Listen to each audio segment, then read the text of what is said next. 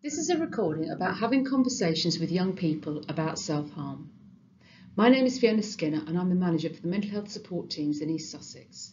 Hello, I'm Amanda Foley and I'm the clinical lead for Early Steps in CAMHS.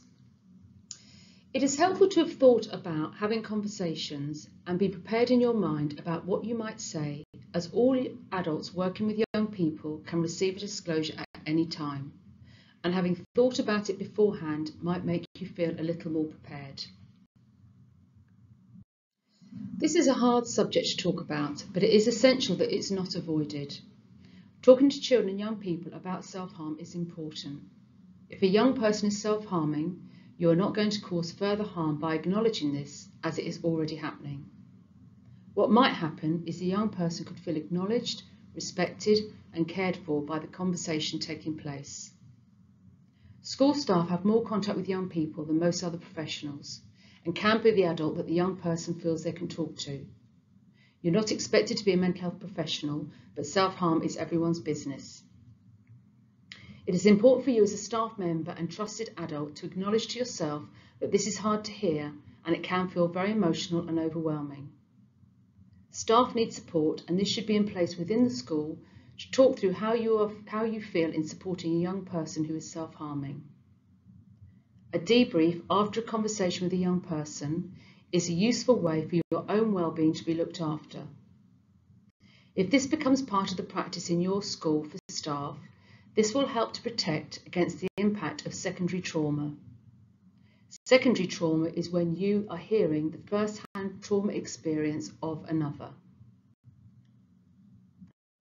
Having the conversation with primary age children or secondary age children can differ in the language used. If a young person tells you that they are hurting themselves, then firstly acknowledge what a big step they have taken. They have trusted you to share this. At this point, you could say in a calm voice, Thank you for telling me what is happening. I'm glad you've been able to share that with me. To thank a young person is validating and acknowledging the brave step that they have taken to tell you what is happening. Imagine how hard that might be for them to tell you. If they've chosen to tell you at this moment, then to continue this conversation would be a priority. You may have other commitments that you have to do, but consider that this is a safeguarding matter, and to hear what the young person has to say is crucial. Find somewhere quiet to talk where you will not be overheard. This could be a walk round the school grounds or in a quiet room. Walking alongside each other is a helpful way to talk to a young person as there is not the intensity of looking at one another. This conversation should not be rushed. Go at the pace of the young person. Listen to them in a respectful way. This should be without judgment and with kindness and compassion. Reflect what they say so they know you've heard them and that you understand what they're saying. You can ask them if you can talk to them more about what's happening for them at the moment. Some questions you could ask would be, can you tell me how you've been hurting yourself? When was the last time you hurt yourself? Do you have any injuries that need treatment at the moment? Showing concern for their injuries conveys care. Be careful not to overreact just because they are self-inflicted. See if you can explore their reasons for self-harm. You could say, I wonder what's been happening for you. Tell me a little more if you can. Assessing the level of risk is important. Research shows that to ask a young person about suicide will not make them think about this if they have not already done so. You could ask, have you ever thought about suicide? Have you ever made any plans? On a scale of 1 to 10, with 1 being no plan and 10 having a plan to end your life, where would you put yourself? If you notice some marks on them and they've not told you about their self-harm, then this is when you ask them if they've been hurting themselves. This may feel harder to do than to receive a disclosure. If you've caught a glimpse of signs of self-harm by the sleeve of their jumper rising up, this may not be by accident. If you're not the DSL or mental health lead, you may seek advice from them before you ask. Decide who's the best person to speak to the young person about this.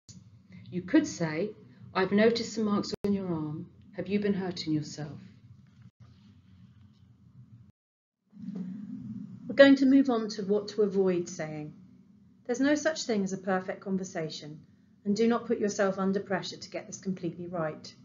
There are things that you can avoid saying if you are prepared in advance. What not to say. Don't tell them off and tell them that this is wrong. It will only make them feel worse. Young people do not need to be, be made to feel shame or guilt by adults around them, as they may already be feeling this. Shame and guilt are often felt by young people who self-harm. Don't avoid talking about it. It will not make it go away. They have shared this with you, and they could then feel very alone. Do not ask them to promise not to self-harm. This will not work, and it is likely to put a lot of emotional pressure on them and set them up to feel guilty. Do not say this is going to be a habit that will be difficult to stop. This could feel quite frightening to a young person and instilling fear is not going to help. Do not make assumptions about why they are self-harming. Let them tell you why they do it. Try not to panic and overreact. If you stay calm, this will be less frightening for them. Discuss with them what they would like you to do next.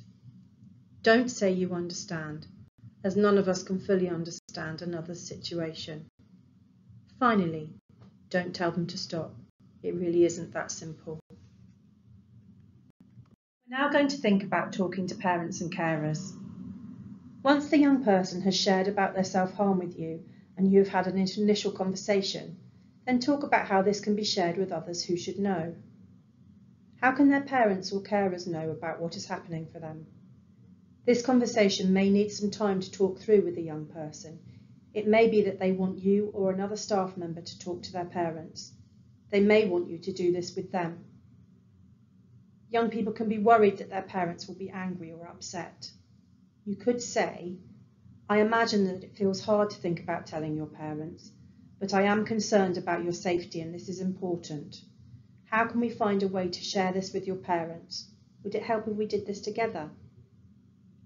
There's a section in the self-harm guidance for parents and carers that you can give to the parent or carer to help them in how they respond.